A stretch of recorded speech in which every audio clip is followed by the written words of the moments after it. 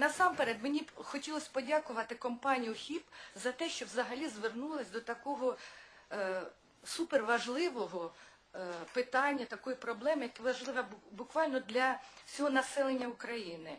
Питання, по суті, здоров'я збереження, е, здорового органічного харчування, екологічного виховання дошкільників. Е, Мені здається, що це дуже доречно розпочати саме з дітей дошкільного віку, коли складаються первинні початки, установки на все подальше життя, із яким е, із, із цими установками діти е, підуть в своє доросле життя. Безумовно, сьогодні в місті Києві взагалі функціонує 700, 702 дошкільних навчальних заклади. В них виховується близько 100 тисяч дітей. А якщо точніше, то за оперативними даними 100 тисяч 298. Це маленькі громадяни нашої країни, які дуже скоро стануть е, дорослими і будуть керівниками, будуть визначати стратегію нашої держави, е, будуть просто громадянами, які живуть в довкіллі і які можуть або це довкілля зберігати, захищати, або навпаки. Е, В дошкільних навчальних закладах е, міста Києва і взагалі по всій Україні е, питання екологічного виховання, питання здоров'я збереження, зокрема харчування, це питання номер один і проблема номер один. Безумовно, приділяється дуже багато уваги цим питанням, і, але те, що компанія ХІВ звернулася до цього питання, означає, що ми можемо примножити, збагатити, додати, збільшити, розширити, якими завгодно словами можна назвати, оту систему роботи, яка проводиться в дошкільних закладах.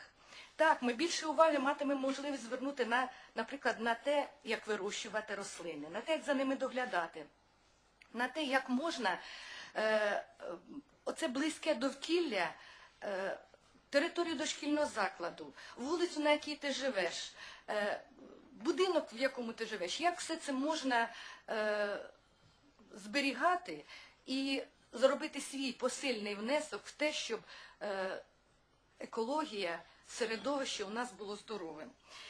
Хотіла би наголосити вже ну пов'язати е, свій виступ якось із попередніми. І найперше, що чим е, екологічна освіта, скажімо, пов'язана з органічним харчуванням.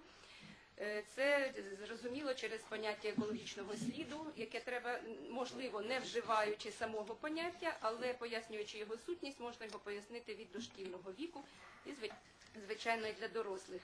Екологічний слід, тобто це той е, відбиток, той е, вплив на довкілля, який здійснюється е, під час виробництва, виробництва тієї чи іншої продукції, не тільки виробництва, але й утилізації потім відходів. Звичайно, що е, екологічний слід органічної продукції набагато менший і вплив на довкілля менше, але це треба пояснювати дітям. От в цьому і буде зв'язок органічного землеробства, тваринництва і екологічної освіти.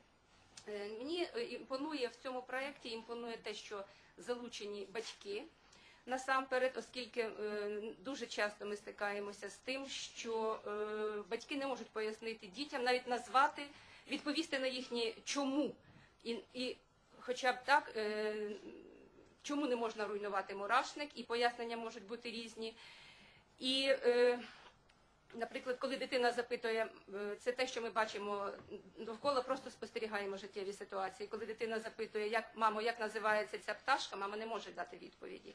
Як можна любити те, чого не знаєш, як навіть називається? Тому е, екологічна освіта батьків в рамках будь-якого проєкту, в тому числі і цьому цього, е, також дуже важлива. Ідея створення казки також дуже е, корисна і цікава, і не лише для дошкільного віку. Ми маємо досвід проведення аналогічного телекомунікаційного проєкту, пов'язаного з, ну, з поводженням з відходами. Там у нас був негативний герой е, Нечупара, якого створювали діти самі. Теж починався він у вигляді казки цей проєкт. І потім вони перетворювали, перевиховували героя, який ставав чепурушкою. І до цього, е, до цього проєкту ми його розраховували на учнів початкової школи, але потім за результатами ми побачили, що долучалися і 8, і 9 класи, і це було дуже цікаво, і ці, дуже цікаві матеріали у нас є в нашій лабораторії. Тому прийом казки він не тільки для дошкільників, він можливий і для звичайно і для початкової школи, і навіть для молодших підлітків можливо.